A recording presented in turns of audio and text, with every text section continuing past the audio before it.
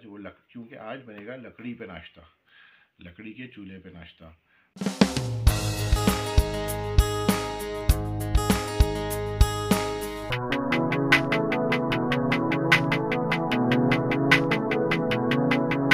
Aslam Basmeem welcome to street wife. Street wife में आपको बहुत ज़्यादा वेलकम करते हैं। आज संडे का दिन है सुबह सुबह इस वक्त नौ बजे, नौ, साढ़े नौ हो रहे हैं, लेकिन एज़ यूजल गैस आ नहीं रही है यहाँ पर। नॉर्थ कराची में ज़रा गैस का प्रॉब्लम है।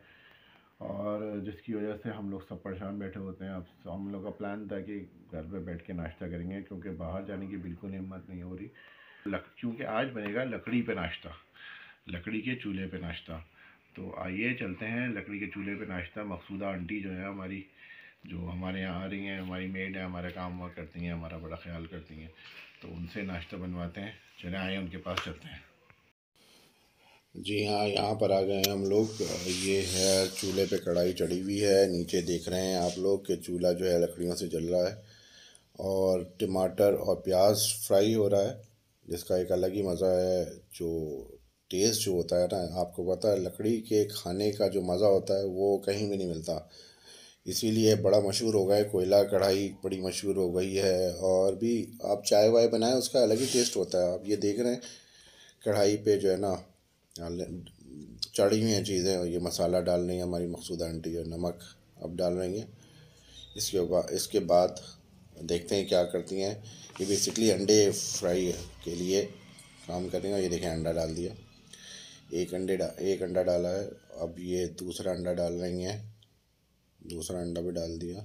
ये बेहतरीन किस्म का ऑमलेट बन रहा है, और इसका टेस्ट जो आप खाएँगे ना, उसका एक अलग ही मतलब टेस्ट होगा। अब ये है कि अब गवर्नमेंट को कब तक ब्लेम करते रहें? गैस नहीं आ रही, ये नहीं हो रहा, वो नहीं हो रहा तो बेहतर है कि और बाहर खाने से थोड़ा सा अवॉइड करें आजकल।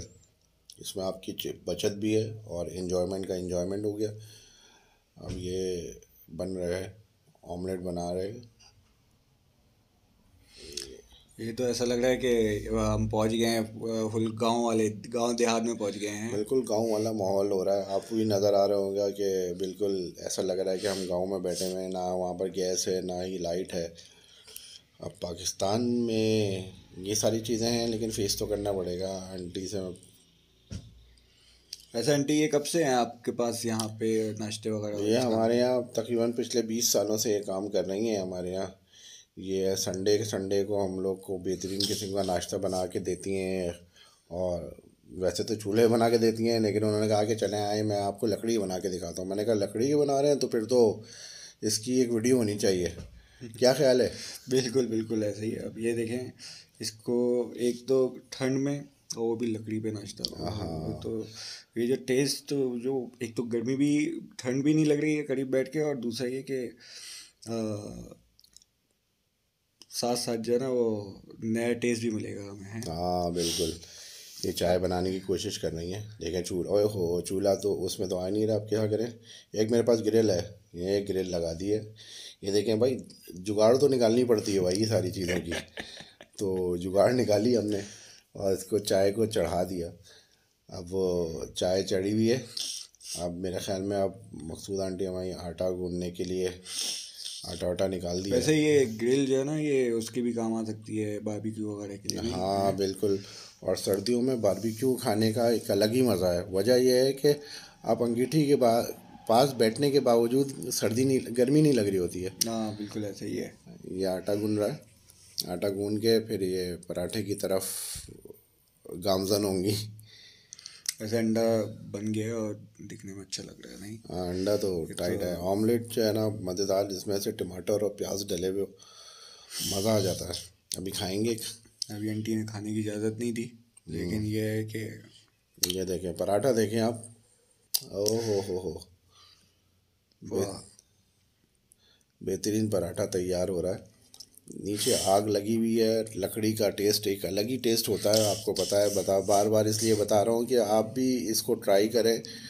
घर में नहीं घर के बाहर या ऊपर छत पर हम छत पर एक हमारे कोने में एक जगह है हम वहाँ पर ट्राई कर रहे हैं। बैकयार्ड एरिया है और दूसरा हमने लास्ट टाइम जो बिरयानी बनाई थी लकड़ी पे बिरयानी की तो हो बिरयानी के क्या कहने थे आप हमारे जो हमारे शॉर्ट्स में पड़ी हुई है कोयला बिरयानी के नाम से होगा आप लाजमी देखें और उसकी जो मज़ा था ना वो हो आप नॉर्मल बिरयानी खाई मतलब वो आ ही नहीं सकता टेस्ट जो हमने कोयले बनाया था ये देखे पराठा देख रहे हैं आप?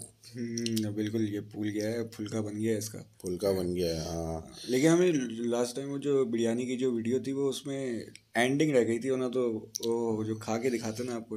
हाँ असल में वो बिरयानी निकलने के बाद जो है ना हमसे रहा नहीं गया और फिर हम लोग बिरयानी में टूट पड़े। और फिर उसकी वजह से आखिर की वीडियो रह गई थी खाते हुए दिखाते उसकी खुशबू ही अच्छी थी मतलब बिल्कुल ही अलग थी एक ना। हम्म। कहते हैं जैसे पुराने ज़माने में लोग कि यार बिरयानी खाते थे ऐसी होती थी वैसी होती थी। मतलब वो पराठा देख रहे हैं तैयार हो गया। वो लाल लाल जो पराठा हो बिल्कुल आगे से बिल्कुल क्रिस्पी जो ब्राउन सा हो गया है ये देखें पराठे। हम्म। पठान वाला पराठा बन गया है पठान वाले से अच्छा पराठा है भाई देखें घर का पराठा एक तो सॉफ्ट है ज़बरदस्त मज़ा आ जाएगा। जी, हमने नाश्ता कर लिया है। बड़ा ही बेहतरीन किस्म का ऑमलेट था, चाय थी, पराठे थे, घर के बने हुए। एक अलग ही मज़ा आ गया। हमें, एक तो आपको एक तो टेस्ट जो था ना, वो अलग ही था। क्योंकि हम फैमिली के साथ बैठ के नाश्ता कर रहे थे, इस वजह से मैंने वीडियो वहाँ पर नहीं बनाई।